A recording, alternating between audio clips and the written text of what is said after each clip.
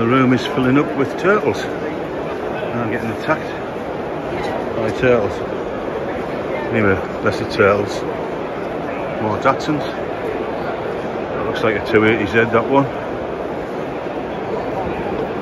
Again, I'm not sure. And this looks like some sort of auto jumble or something like that. You obviously buy bits and bobs for your cars.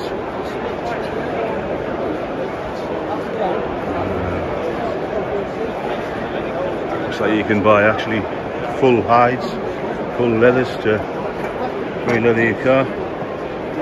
Should really get that leaflet for Mark, my, my mechanic who works for us. Loves a bit of trim.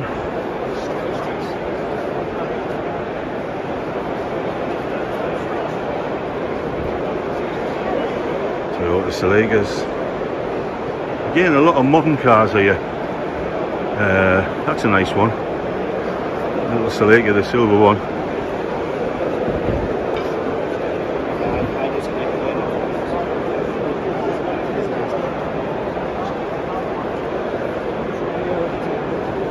Toyotas.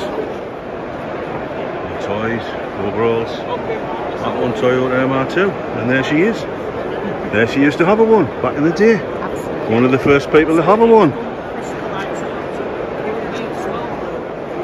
Here we go. I see it's a bit of an auto jumble down here. Signs and bits and pieces for sale. There's some uh, nice original signs on this sale. But I have to say, And then it was on this one. the guy who's selling them is not an original person because uh, he ripped us off once. So there you go. Yeah. Nice stuff on your stall. Pity you don't mind selling fakes to people. Lots of bits and bobs here. You can buy all sorts of clips, grommets, fastenings, pins. It's quite a lot here this year actually. Uh, I never really noticed how big the auto jumble was. Um, and this stuff, you know, is getting harder and harder to find. Absolutely, can be a nightmare. Toy cars, toy cars. Is it T3 though? Stall actually belongs to a friend of mine who is a really, really nice chap. He's called Doug Palmer. There he is, there with a beard on, and he restores, buys, and sells automobilia. He's here with his wife, Tasha, who's over there, and he hasn't seen us yet. I'm sure he will. So if you're starting out with any collecting or anything like this, visit his website because he is a total honest and genuine dealer, not like the other unscrupulous person I showed you before. He will not sell you a fake. He says it as it is. And there's his little daughter there. She's been to more auctions and auto jumbles than anybody her age. I can definitely guarantee that one. So there you go. Get that in. Vintage automobilia. Anybody want to start out? Check them out. Such some nice stuff. Almost reasonable prices. And doesn't sell rate reductions. That's nice. Or if he does, he tells you it's a rate reduction. There you go.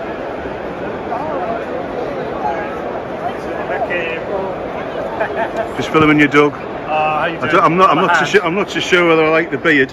What? This is my Goodwood moustache. Well, well, No, Goodwood's not next year. Well, I know, but I kept it. Oh, you and then we've had Brighton, and now it's still there, and I haven't shaved it off. Are you sure it's not a lockdown moustache? Yeah, it is. Yeah, a little Yeah. bit. Any good? Sold anything or not? yeah, a few bits already. Um, Few bits? Excellent, Yeah, excellent. It's, it's busy already. We're Yeah. only an hour or two in. Um, Yeah. So yeah, it's usually a good weekend here. Store looks impressive as usual. Thank you. Loads of bits on there. Put that Yeah. in there. A few bits out of our own collection again this weekend as well. Have you? sort of parting with. Yeah. Well, you've got to. You can't keep them all, can you? So we're coming out of this hall, which seems to be the mainly the spare parts. And there's Woolies, the house down at Beaulieu. Even buy yourself a settee if you want. Uh, depends how many drugs you've took, I suppose, to uh, to buy that one. But there you go. Um, probably made out of the offcuts of those leather jackets over there, I think. There you go. There you go. You were asking for a body double. That's you. You, you thought you were Bodie and Doyle. No, you're not. You're AJOK. So you. Wolseley Owners Club. Nice two-tone one there. Wolseley, British make, goes back to the really early 1900s. In fact, a friend of mine's got a 1904 Wolseley up for sale at the minute. And it is a lovely car, and I am tempted to buy. I'm not so sure. Last year, I think this was filled with cars. So seems to be a lot of souls here this year. Right, is there a parrot in the room? What did you say then? I said there's a lot more stalls. That's what I just said. Oh, sorry. Uh, we'll just take a, a mosey up one of these.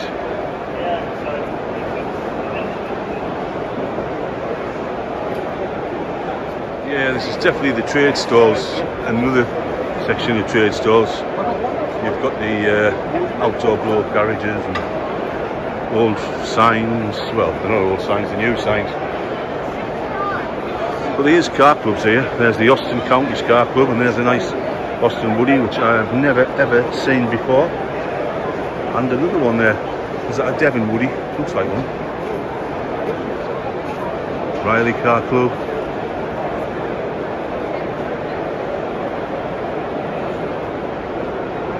Uh, 1100 1300 GT Looks a bit boxy now. Yeah. Look at that, that's nice. That's that's, that's a bit of me, that Austin A35 pickup. Don't know whether it's a genuine one, but I would guess it is. Uh, about as much use as a chocolate fire guard as a commercial vehicle. But what a lovely little thing. I'm just and look under the bonnet, and that's what I like to see. Period looking battery with the little lead straps on the top always makes a commercial vehicle or any vehicle really of the day look more. There you go. There's a rare thing. I actually had the chance to buy this uh, petrol tanker. It did end up in an auction. It did end up at Bonham's auction. Uh, but before it ended up at Bonham's auction, the late son, the late son of the guy who owned it and restored it rang us and asked if I wanted to buy it, and I didn't buy it. And the reason I didn't buy it was only one reason, and that was the storage. I couldn't store it anywhere. What a beautiful truck! And I would hate to think how much money has gone into that. Morris LC, again, nice little thing. These are Austin's, badged Austin, but they're basically just a J van. One in Royal Mail livery there. Yeah, lovely. Absolutely lovely. Yeah. Sold one the beginning of the year, should have kept it, but you can't get all. Can? The Morris register, and there you have it. We have the exact same car in stock at the minute. It's a Morris Cowley flat rad. Lovely thing, absolutely undervalued car, I think. In nice condition, there's a bull nose over there. This must be the Morris Morris stand, obviously. MG over there. So we are leaving. It's a nice TD. I've actually got one of these for sale at the minute as well in black. And I'm going to hazard a guess and say it is a lot better condition than that. In fact, I can guarantee mine's better condition. Um, I'm not slagging the car off because it's not here for sale. But what is for sale is the next section, which is the dealer hall. So we'll have a look around here and see what's for. So we're moving round to the MGs.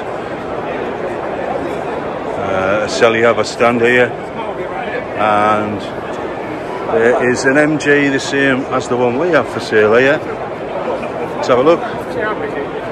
In iris blue, and it is thirty-four thousand pound. That's thirty-four grand, right? Is this? So it puts mine at twenty-six. you, know, you know what I mean? Beautiful car though. Yep, absolutely beautiful. Yeah, yeah, some lovely cars. Can I have a look here? Yeah, he's got some beautiful cars. Absolutely beautiful. Vintage and prestige. Really, really top class cars.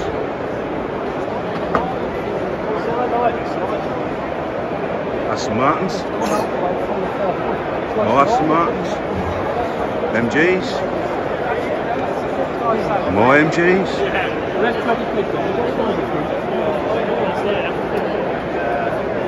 Austin Healey. So you can buy everything here really from a restoration project to a concours car. Um, again, I don't like slagging dealers' cars off because you know you can find a fault on anything, um, and especially the prices. People have a go at the prices on them. Horses for courses. You buy at an auction, you pay your money, you take your chance. Uh, you buy off a dealer, you've got some sort of comeback. Uh, the only the only weird thing is uh, the general public don't really um, recognise that if a car's 50, 60, 70, 80, 90 years old, it will have faults, and it will have faults. It's as simple as that. And yes, you could probably go to the auction and buy that car, which is 13995 for 8 grand, 7 grand, 6 grand. But you could equally drive it out the auction and the engine will blow up and you'd have lost all your money, just like that. So auctions, yeah, good way to buy cars, but a big boys game. Triumph there, TR6. Yeah. Just over 18 grand. Yeah. Yeah, I think you'll get yourself some bargains here today because uh, the classic car market's a bit a bit slow with some things. Some things fly out the door, some things are a bit slow, but if you keep them long enough, they all sell. Again, these are all stalls that have cars for sale.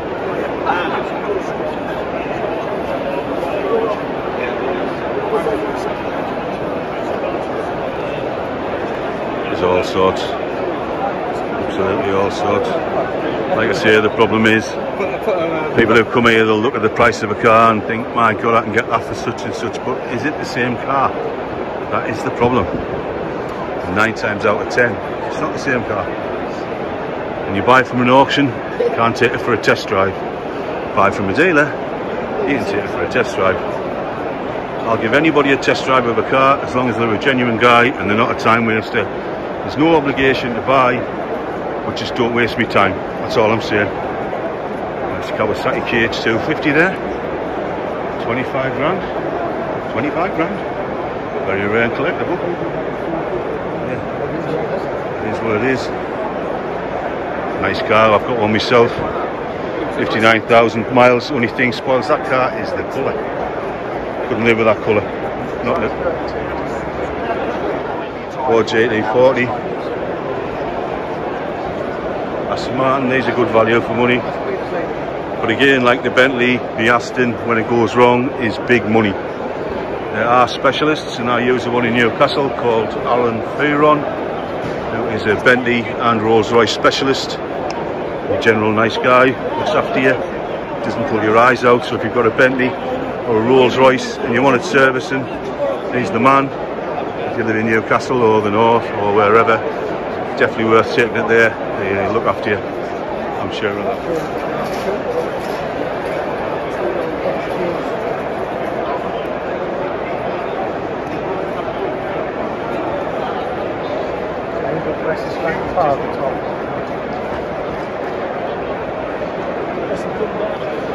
You've got cars priced at 369,000.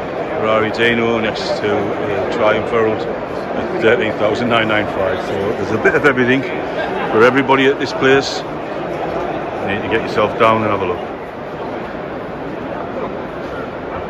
Like I say, I bet if you came here today, uh, XK150 there, 67,000. Nice car, I'm dubious about the paintwork on it though. Same as the Daimler Dart, looks like a very modern paint. In fact, all these cars here look as if they've been painted with uh, some sort of modern paint, uh, which isn't a bad thing. I mean, I'd rather have a nice looking car uh, as an original car that's uh, um, undrivable. fastidious. Uh,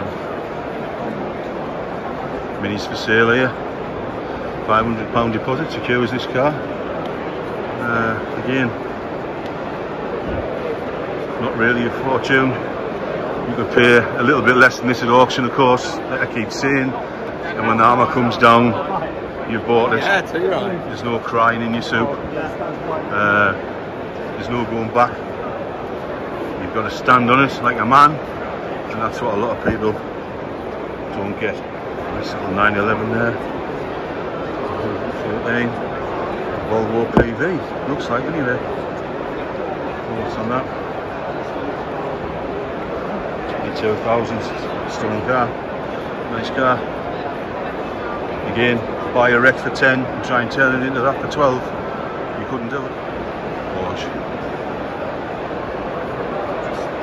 Mercedes SL, these were on fire at one stage.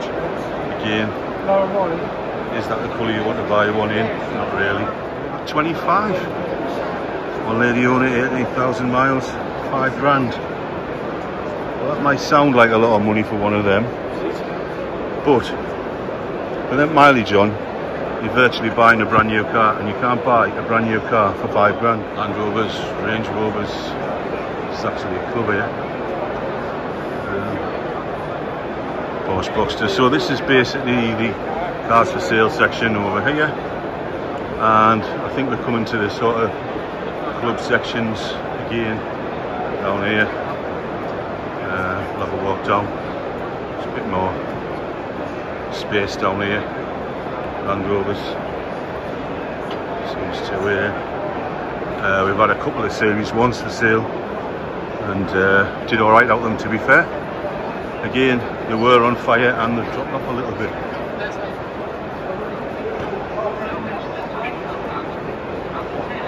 If you haven't drove a one, you should drive a one because you'll be put off one, owning one after you've drove it. So I think it's got a lot of, uh, it's for the garages promoting the restoration, uh, sales and restoration work.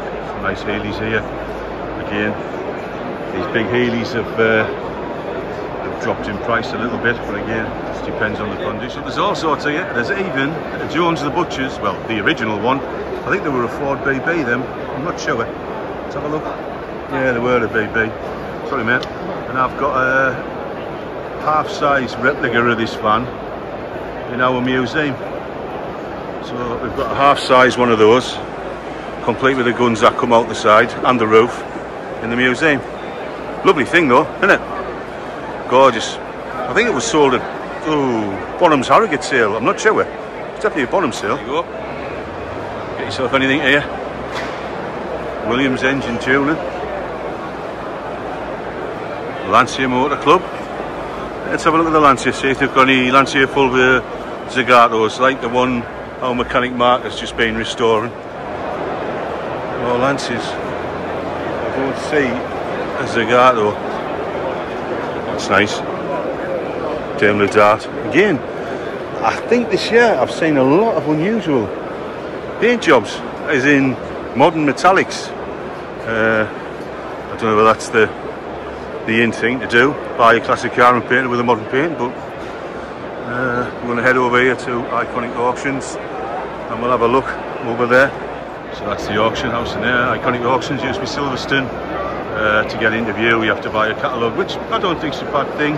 Keeps the time wasters out. Uh, today, I'm not buying a catalogue because I have absolutely no intention of buying anything from an auction well, for the foreseeable future. Anyway, we've got quite a bit of stock in, so I'm not that bothered about buying from an auction. I like to say that 25 quid, it sort of keeps people out.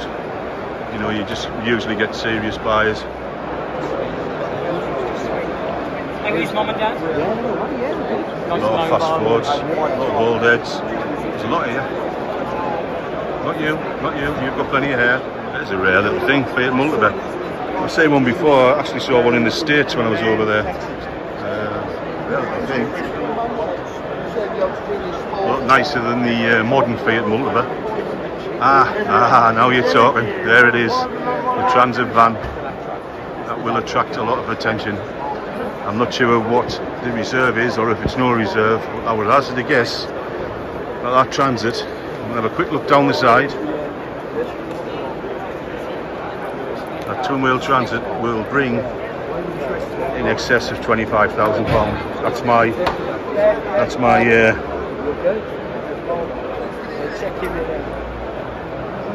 that's my estimate anyway. Rolls Royces and Bentleys Uh, ten a penny in this auction apparently. Value for money. Like I say, especially if you can get it serviced by uh, an aftermarket dealer, save yourself a fortune. Absolute fortune.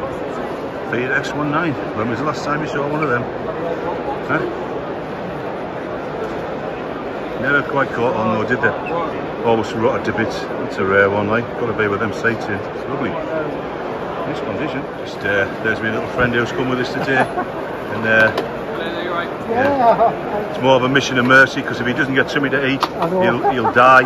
Because he says he's, he's starving. Please. Oh god. There's all little stalls selling watches and your life in cars pictures and settees again. I don't know what the big attraction of the settees is. Well, there you go. Uh, somebody actually selling orthopedic feet. I don't know what they are. But all sorts, more of Right, so this looks like the last hall, uh, split round, and it's got all sorts in really from uh, garage equipment, motoring events, insurance companies, uh, polish, covers for your cars, uh, clothing, a bit of everything really. Um, and this is what a car show should be about. It should be about a bit of everything. You know, not just the 24 Le Mans cars, your GT40s, your XKs, anything from, like I said before, a Yugo to a Ferrari. Uh, this is what it's all about, this car show. So, as like I say, there's everything down here from clothes to Rimmer Brothers selling you a TR shell, a brand new shell. So loads of classic uh, rallies and tours you can go on. There's Jag there. I think this is mainly the uh, uh, the area for uh, trade stands. I think. Looking around, there is the Porsche Club over there. I can see from here. Uh, oh, there's quite a few. Yeah, we'll a. So we're coming around here. We've got the Beaulieu National Motor Museum stall. Some of the exhibits on. Hello, mate. Some of the exhibits on on on, uh, on display. Fantastic. The guy I was just waving at there is a guy called Tom, and he's in charge of the museum at Gaydon. And he does a fantastic job there. If you haven't been to the Gaydon Museum, uh, it's the British Motor Museum actually it's called. It's definitely, definitely, definitely worth a trip. Definitely, definitely, definitely worth a trip. Yes, how are you? Good. When we came down uh, oh, about six weeks ago, maybe two weeks ago. That's right, I saw that with Gareth.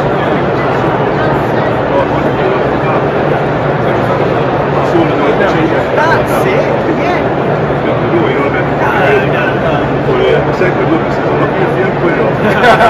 So we, we managed to get to the service station, Right. and the boys in the who were in the back of that, Yeah. they got the little water pack.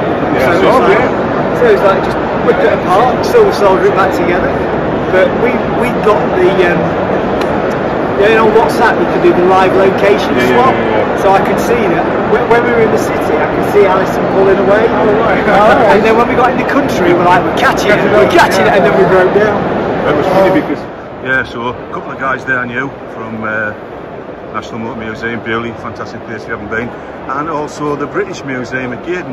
Lovely fella there called Tom, organises a lot of events, and uh, we're going to do a film in the museum. Uh, That'll be one for the Undercover Collector series. So, right, I'm going to wrap this up shortly. Um, I'm trying to give you as much of the show as I can. I could be here for hours and hours and hours my battery's running out so I can't be here for hours and hours but I'm going to call it a wrap, call it a day, whatever you want to call it and for me that's the end of the show.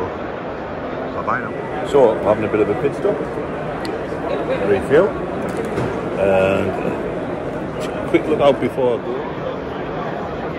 go. We're in the NEC. Are we in the NEC? No, we're in the Hilton Hotel. Uh, back from the NEC. Um, we've stopped here for oh, 20 years. We've come to this show for 20 years. When my kids were little, we used to come to the Top Gear show and uh, come down here. I'm going to have something to eat. And believe me, in an hour's time, this place. that's the company I've got tonight It's already heaving. with his uh, Neil Sedaka shirt on and Mandy there doing what she does best. And a quick look round. It's not very busy, but I can tell you, an hour's time, it'll be busy. Bye bye now.